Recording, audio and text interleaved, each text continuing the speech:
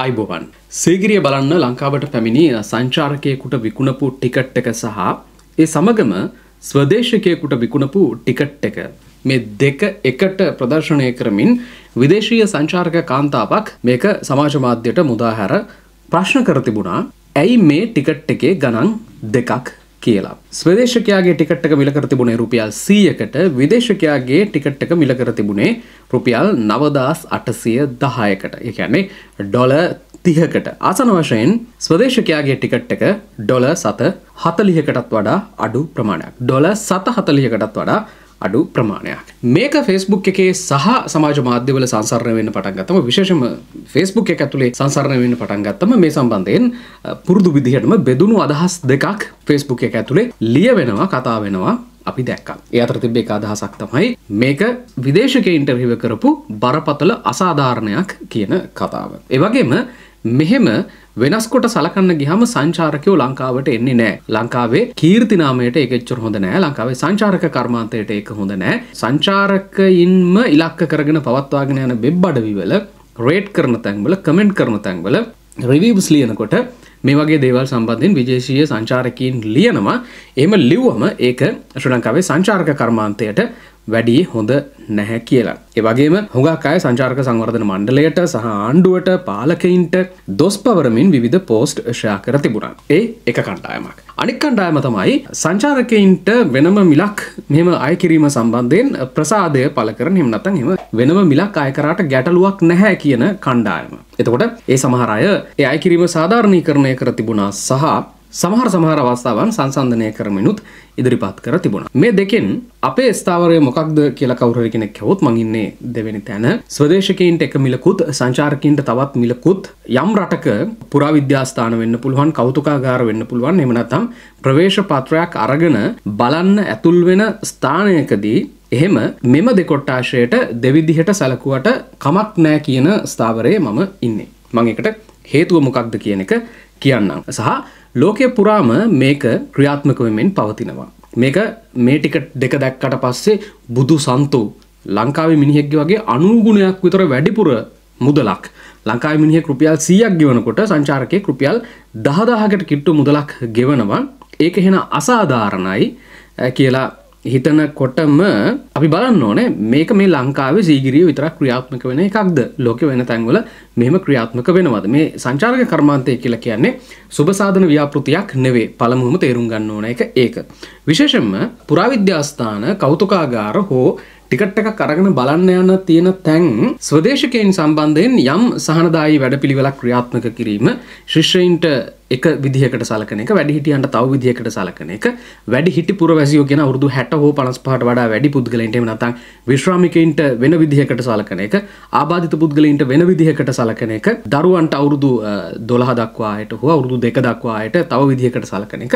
ඒක ලෝකයේ පුරාම ක්‍රියාත්මක වෙමින් පවතින එකක්. මේ ව්‍යාපාරය කරගෙන යනකොට ඒක ක්‍රියාත්මක කරන විදිහක්. සහ විශේෂයෙන්ම ජාත්‍යන්තර මුදල් ලේඛකවලට වඩා වටිනාකම අඩු මුදල් එකක පවත්වාගෙන රටවල්. උදාහරණයකට ගත්තම USD එකට හෝ යුරෝවලට තමයි වැඩියෙන්ම භාවිත වන මුදල් ඒකක දෙක ලෝකේ සංසරණයේදී එහෙම නැත්නම් යුවාන් වගේ එකක්.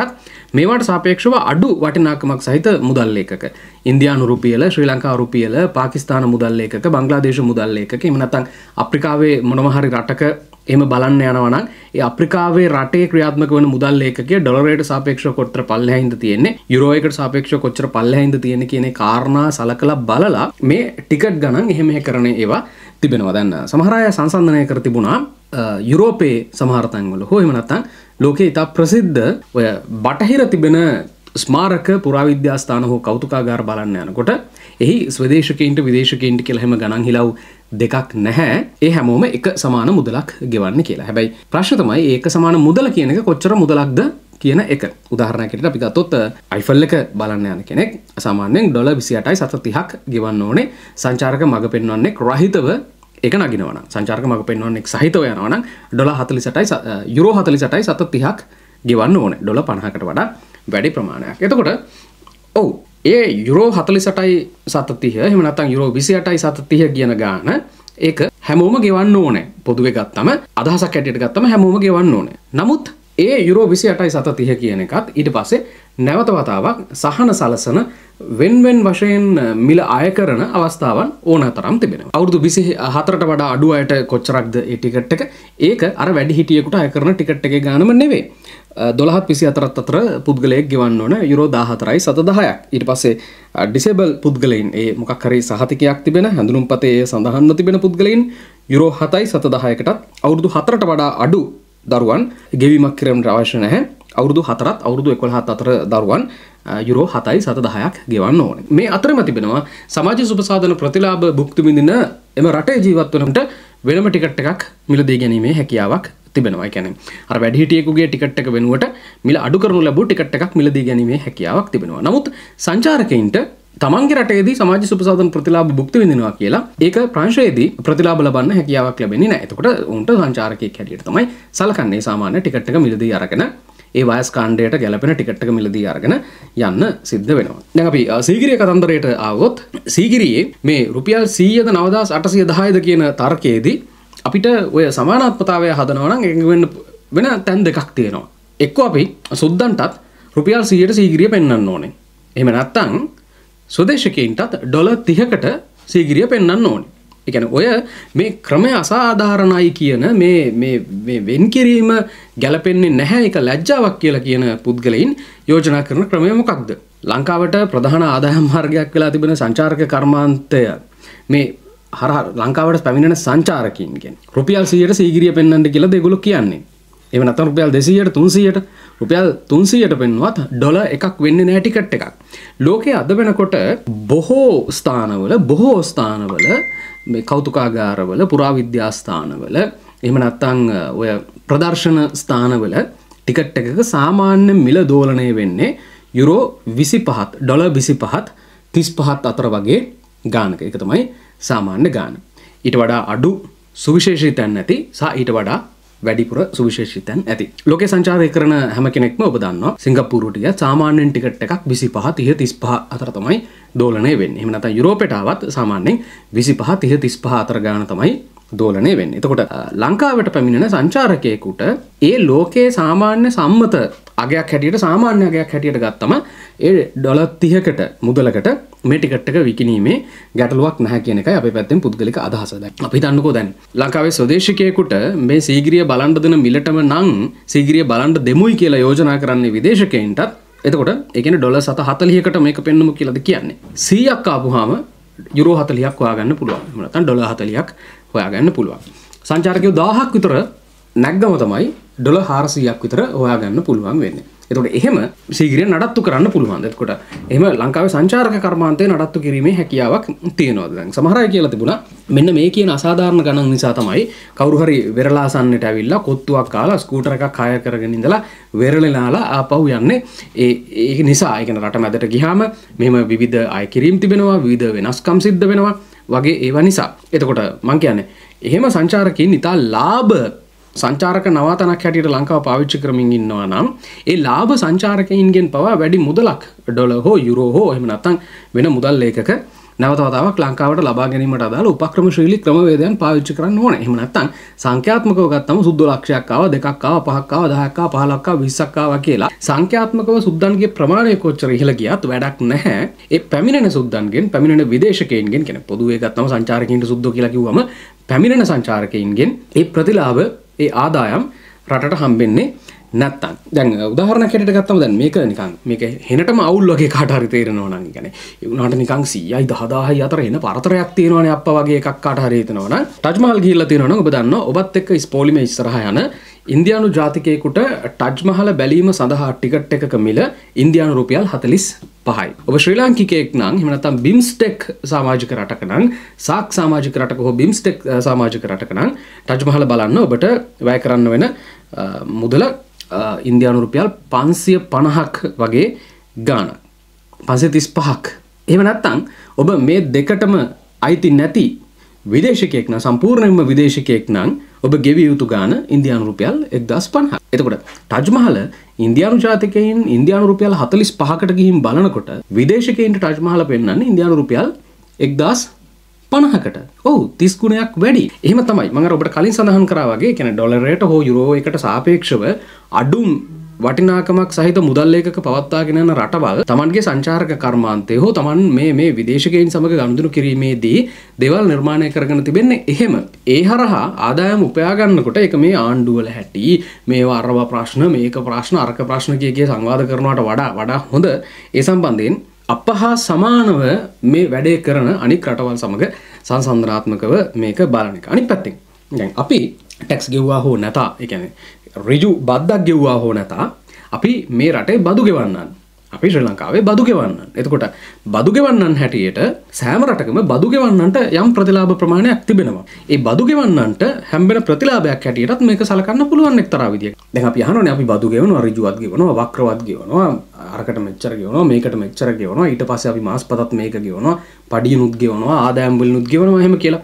එතකොට ඒ ගෙවන අයට එක්තරා විදිහකට සලසන ප්‍රතිලාභයක් හැටියටත් මේක සලකන්න පුළුවන්. ඒ නිසා මේ මිල ගණන් දෙකක් පවත්වාගෙන යාම කිසිසේත්ම අසාධාරණ හෝ එහෙම නැත්නම් මේ සර්ව සාධාරණත්වය පිළිබඳ මූලධර්මයට මේ හානියක් කරන කාරණාවක් නොවන බව පළමුවම සඳහන් කරන්න ඕන මේ මිල ගණන් තීරණය කිරීමේදී ස්වදේශකයින්ද විදේශකයින්ද කියන කාරණාව ස්වදේශකයින් ගත්තම ස්වදේශකයින්ගේ වැඩිහිටි පුරවැසියන් විශ්‍රාමිකයින්ට එක මිලක් නියම කරනවා ආබාධිත පුද්ගලයින්ට තව මිලක් නියම කරනවා. ශිෂ්‍යයින්ට හොයමත තම මේ ඉතිහාසය විශෂ්දන් අපි සීගරිය ගත්තොත් සීගිරිය ඉතිහාසය විෂය හා සම්බන්ධයි. කලා විෂය හා සම්බන්ධයි. චිත්‍ර විෂය හා සම්බන්ධයි. ගෘහ නිර්මාණ විෂය හා සම්බන්ධයි. ඉට පසේ වාරි තාක්ෂණය හා සම්බන්ධයි. ජල කළමනා කරණය හා සම්බන්ධයි. මොනවරද මේකත් එක්ක සම්බන්ධිත දේවල්ට එකක් තිබෙනවන. මේ සම්බන්ධිතදේ අධ්‍යනය කරමින් විශ්වවිද්‍යාල ශිෂ්‍යයින්ට හෝ පාසල් ශිෂ්‍යයින්ට මේවා නොමිලේ පෙන්වත් අතරම පාඩු නෑ. මහිතනම වැඩ පිළිවෙලක් තියෙනවා. එතකොට ඒවා හැම පෙන්වන්න ලෝකෙ කොහෙත් එහෙමයි. සමහර කලා කෞතුකාගාර තිබෙනවා ඒ කෞතුකාගාරයට සංචාරකයෙක් හැටියට යනකොට සාමාන්‍ය පුරවැසියෙක් හැටියට යනකොට ටිකට් එකක් ගන්න ඕනේ. ඒකට යම් මුදලක් ගෙවන්න ඕනේ. හැබැයි ඒ විෂය සම්බන්ධයෙන් අපි හිතමු දැන් චිත්‍ර මූර්ති සම්බන්ධ කෞතුකාගාරයක් කියලා. එතකොට මේ මූර්ති විෂය හදාරමින් ඉන්න කලා විෂයන් හදාරමින් ඉන්න ඒ යම් ලියාපදිංචියක් තිබෙන කලා කරුවන්ට හෝ ශිෂ්‍යයින්ට ඒවා නොමිලේ බලන්න අවස්ථාව සලසලා දීලා තිබෙනවා. ඒ වගේම සමහර රටවල් වල ජනමාධ්‍යවේදීන්ට මේවා වාර්තා කරන පුද්ගලයින්ට මේ සම්බන්ධයෙන් ලිපි ලියන පුද්ගලයින්ට මේවා ප්‍රවර්ධනය කිරීමට මැදිහත් වන විවිධ පාර්ශවවලට ඒ ලියාපදිංචියක් සහ ඒ සනාථ කිරීම සහිත ඒවා නොමිලේ බලා ගැනීමේ හැකියාවක් තිබෙනවා. එතකොට ඒ සහන සියල්ල සියලු සුදේශකීන්ට දෙන්නත් බෑ සියලු විදේශකයින්ට දෙන්නත් බෑ. දැන් මේක මේ ටිකට්ක දැක්ක ගමම්ම මට මතක් වෙච්චක තමයි මේ වගේ සිද්ධියක් දැක්ක ගමම්ම මේවා මේ කරතියාගෙන උසාවි යන්න උනත් ලෑස්ති කණ්ඩායමක් ඉන්න අපට මතකයි අර අරගලය වෙලාවෙදී එක්තරා විදේශගත තරුණයක් ලංකාවට ඇවිල්ලා සංචාරක වීසා මත ඇවිල්ලා මේ අරගලය වාර්තා කරා කියලා කියන්නේ. එන්නේ සංචාරක වීසා මත ඇවිල්ලා ඊට පස්සේ එතන ජර්නලිස්ට් රෝල් එකක් කරා කියලා ඊට පස්සේ මේ අරගලය පිළිබඳ ප්‍රවෘත්ති වාර්තා කෙරුවා අරවමම කෙරුවා කියලා ඇයව පිටුහල් කිරීමට දාලා නියෝගයක් දෙනකොට නඩුවක් ඇය වෙනුවෙන් පැවරුවා. ඒ නඩුව විසි කරලා දැම්මා. ඇත්තට මේක විසි කළ යුතු නඩුවක් සහ ඒ අවස්ථාවේ ඔය සිද්ධිය සිද්ධ වෙන අවස්ථාවේදී අපි සඳහන් කරපු එක තමයි මේක ගුබ්බෑමක් නෙමෙයි. හෙට දවසේදී කවුරු ජනාධිපති වුණත් කවුරු ආණ්ඩුව ගත්තත් රට ඇතුලේ යම් විනයක් තියෙන්න ඕනේ. ඒ කියන්නේ අර ජාතික ගීය පිළිබඳ ප්‍රශ්නේදී හැමෝම අහන්න පටන් ගත්ත නිකන් අනිත් ඔක්කොටම කෙලවෙලා තියෙනකොට නිකන් ජාතික ගීය විතරක් පරිස්සම් කරගත්තොත් ඇද්ද වගේ ප්‍රශ්නයක් මං කියන්නේ. අනිත් ඔක්කොම කෙලවෙලා තියෙනවා නම් ඉතුරු වෙලා තියෙන ජාතික කොඩියයි ජාතික ගීයයි තව මොන මොනවා හරි ටිකක් නම් අඩුම තරමේ ඒවාවත් ඉතුරු කරගෙන නැවත නැගී සිටීම ඒවාගෙන්වත් ආරම්භ කර යුතුයි. එහෙම නැත්නම් අනිත් ඔක්කොටම කෙලවෙලා තියෙන්නේ අනිත් ඒවා කිසිම දෙයක විනයක් නැහැ කියලා අනිත් කිසිම එක්ක පිළිවෙලක් නැහැ කියලා ජාතික ගීයටත් පිළිවෙලක් නැති කරලා ජාතික කොඩියටත් පිළිවෙලක් නැති කරලා ඒ පිළිවෙලක් තියෙන මොන මොනවා හරි සොච්චම් දේවල් ටික ඒ සියල්ලත් පිළිවෙලක් නැති කරලා මේක ගුබ්බෑමක් කරලා හරියන්නේ නැහැ. මොනවා හරි මේ වෙනකොට විනාශ වෙලා තියෙනවා ඔව්. මේ සිස්ටම් එක කරප්ට්. මේ සිස්ටම් එක ව්‍යාකූල වෙලා තිබෙනවා. මේක ගොඩ ගන්න බැරි තැනකට පත් වෙලා තිබෙනවා. හැබැයි එවැනි පසුබිමක වුවද සව සමහර දේවල් ටිකක් බේරිලා තියෙනවා. එතකොට බේරිලා තියෙන ටිකත් කෙලවෙන්ඩ අරින එකද කරන්න ඕන. එහෙම නැත්නම් මේ බේරිලා තියෙන දේවල් ටික හරි බේරගෙන ඒවා මතින් හෝ අරවත් නිවැරදි කරගෙන නැගී සිටීමද? ඒ නිසා කලින් අවස්ථාවේදී ඔය කයිස මං හිතන්නේ නම. ඇය සම්බන්ධ කතාවේදීත් මං කිව්වේ මේ මොහොත රට පාලනය කරන්න ගෝඨාභය රාජපක්ෂද රනිල් වික්‍රමසිංහද වෙන කවුරු හරිද කියන එක නෙවෙයි ප්‍රශ්නේ තියෙන්නේ. එතකොට හෙට දවසේදී ඔබ රටේ ජනාධිපති වෙන්න පුළුවන්. එහෙම නැත්නම් තව කෙනෙක් රටේ ජනාධිපති වෙන්න පුළුවන්. ඔබේ පක්ෂය පාලනය කරන්න පුළුවන්. වෙන කෙනෙක්ගේ පක්ෂය පාලනය කරන්න පුළුවන්. හැබැයි කවුරු මේකේ බලය ගත්තත් ඒ මූලික විනය කියන එක මූලික නීති පද්ධතිය කියන එක රටේ මූලික යහපැවැත්ම කියන එක ඒක ආරක්ෂා කරගන්න අපි හැමෝම උත්සාහ කරන්න ඕනේ කියන්නේ. අපි ගෝඨාභය රාජපක්ෂත් එක්ක තියෙන අවුලට මුළු රටම විනාශ වෙන්නදලා රට ගුබ්බෑමක් කරන්න ඇරලා ඒක මරු කියලා කියන. ඒක එහෙම වුණාට පස්සේ ඒකේ හානිය වෙන්නේ ගෝඨාභය රාජපක්ෂට ඒකෙන් කියලා වෙන්නේ ගෝඨාභයට කියලා ඒ හරහා කවුරු හරි ප්‍රතිලාභ ලබන්න හරි වාසියක් ලබන්න හරි බලාපොරොත්තු වෙනවනම් ඒක නෙමේ මේ අරගලයට සම්බන්ධ වෙච්ච හෝ එහෙම නැත්නම් මේකට ධෛර්ය දුන්න සුවහසක් ජනතාවගේ බලාපොරොත්තු වුණේ. අපිට ගෝටාබයත් එක්ක ප්‍රශ්නයක් තියෙනවා. අපි මේ ප්‍රශ්න ගෝටාබයත් එක්ක බේර ගන්න ඕනේ. හැබැයි අපිට රටත් එක්ක ප්‍රශ්නයක් නෑ. අපිට රටත් එක්ක තියෙන ප්‍රශ්නේ මේ රටේ මේ වෙනකොට විනාශ වෙලා තියෙන දේවල් නැවත ගොඩනගාගෙන ඒ තැනට අපි අරගෙන යන්න අපි රනිල් වික්‍රමසිංහත් එක්ක ප්‍රශ්නයක් තියෙනවා. රනිල් වික්‍රමසිංහගේ පාලන ක්‍රමය පිළිබඳ ප්‍රශ්නයක් තියෙනවා. ඒ නිසා අපි මේක ගොබ්බෑමක් කරමු. ඒකෙන් රනිල් වික්‍රමසිංහට ගෙලවුණා අපි එතනින් රනිල් වික්‍රමසිංහ එලවගමු කියලා. ඒ රනිල් එක්ක තියෙන ප්‍රශ්න රනිල් එක්ක බේරගන්න ඕනේ විදිහක් තියෙනවා. ගෝඨාභයත් එක්ක තිබ්බ ප්‍රශ්න ගෝඨාභයත් එක්ක බේරගත්ත විදිහක් තියෙනවා. හෙට දවසේදී වෙන කවුරු හරි එක්ක මේක ජනාධිපති වුණොත් උගෙත් එක්ක ප්‍රශ්නයක් තියෙනවා නම් ඒ උගෙත් එක්ක ප්‍රශ්න විසඳගන්න ඕනේ. මේ රට විනාශ මුඛයට තල්ලු කරමින් නෙවෙයි කියන එක. එතකොට ඔය කයිසගේ සිද්ධියේදී මතු කරපු කාරණාවක් තමයි මේ මේ සර්වසාධාරණත්වයේ අයිතිය. එහෙම මේ මූලික අයිතිවාසිකම් වලින් රැකවරණය තිබෙනවා වගේ කියලා.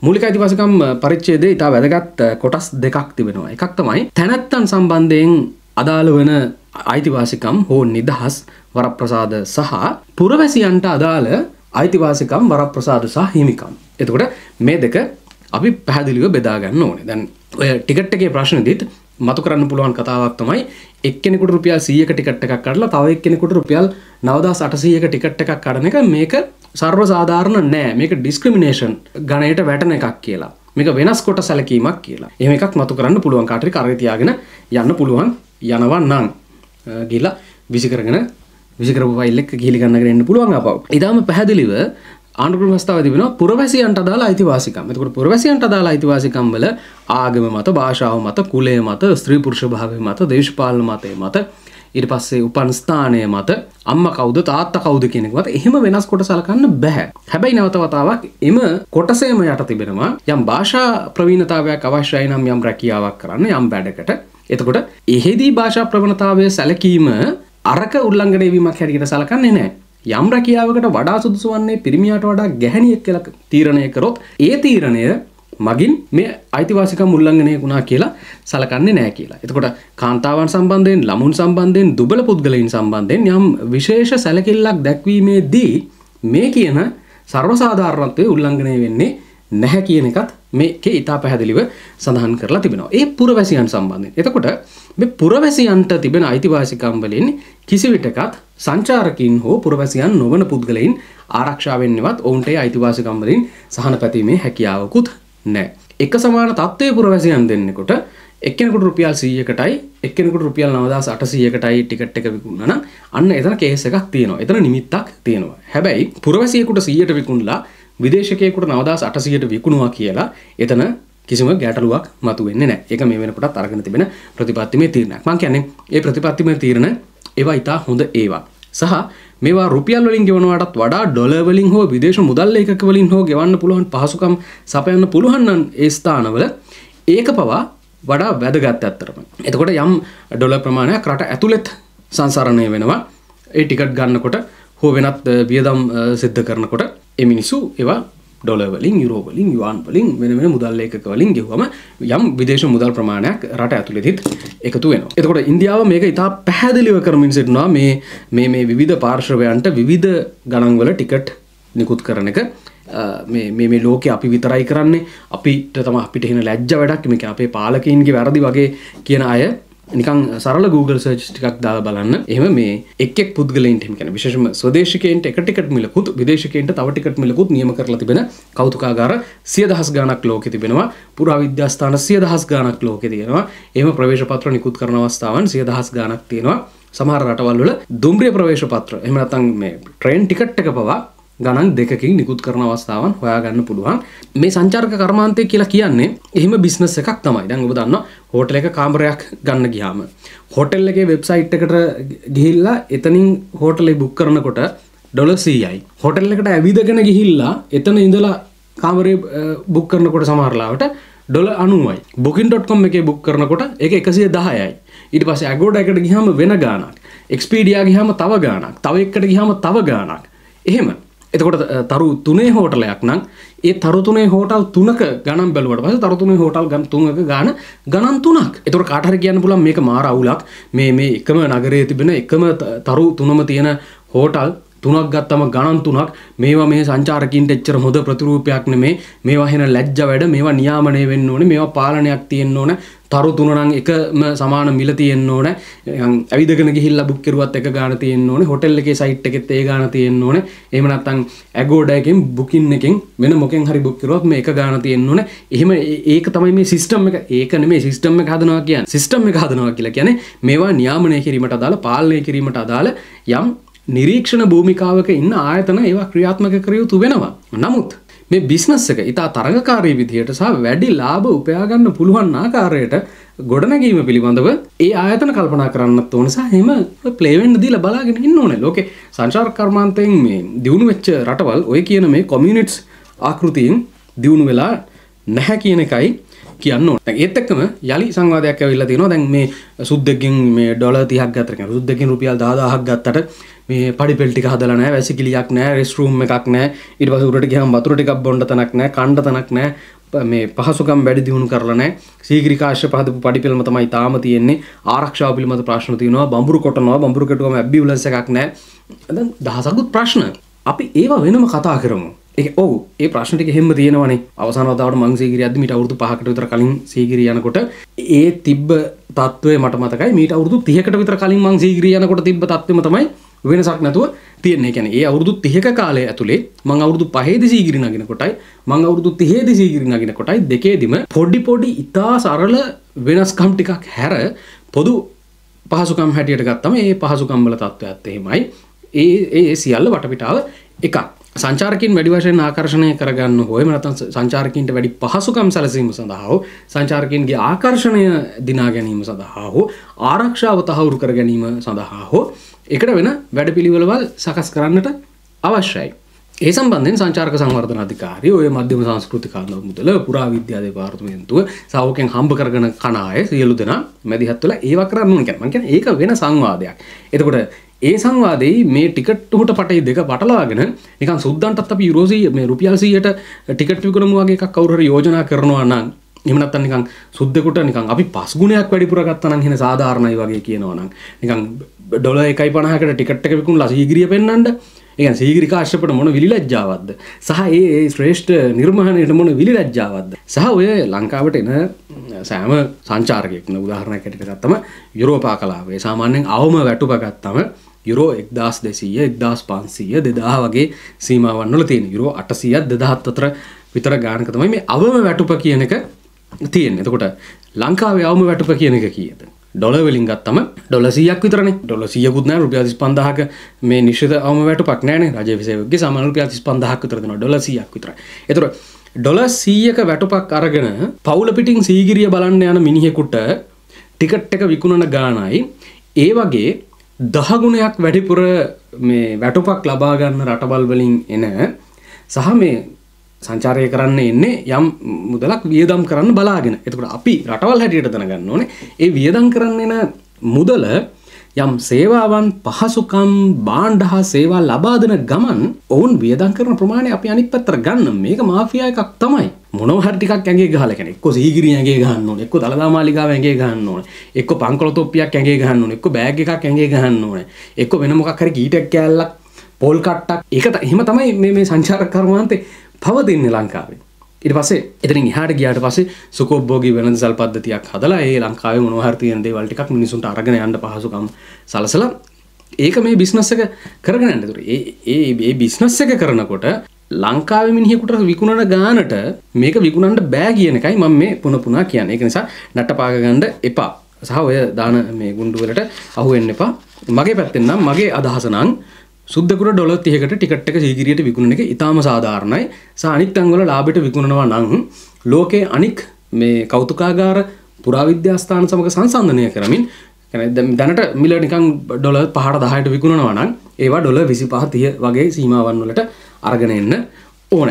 වැඳ වැටමින් මේ බිස්නස් එක කරන්නත් බෑ. සහ අපි සීගිරිය පෙන්න්නන්නේ ඩොල විසි පහටද ඩොල විස්සරද කියනක මත සංචාරකව ලංකාවට එනවාද නැද්ද කෙනක තීන්දු වෙන්නේ නෑ එහෙමත් එකෙක් ඇවිල්ලා ඔය නිකන් ඔය වගේ මේ මාතෘකා හදලා ගියොත් ඇරෙන්න ඊට වඩා ප්‍රශ්න තියෙනවා මේ රටේ මැයි තිස්සෙක් වනි දායින් අවසන්න වසරක කාලය තුළ විශේෂජ වෛද්‍යවරු දෙසේ හැත්තෑ හතරක් රට හැර ගිහින් කියලා රජ වෛද්‍යනිල්ධාරන්ගේ සංගමය කියනවා. ඊට අමතරව වෛද්‍යවරු ශේෂ්‍ර වෛද්‍යනිල්ධාරින් අටසිය හතලිස් දෙකක් ඩොක්ටස්ලා අටසය හතලිස් දෙකකුයි ස්පේශලිස්ලා දෙසේ හැත්තෑ හතරකුයි රට හැරගිහින් කියලා.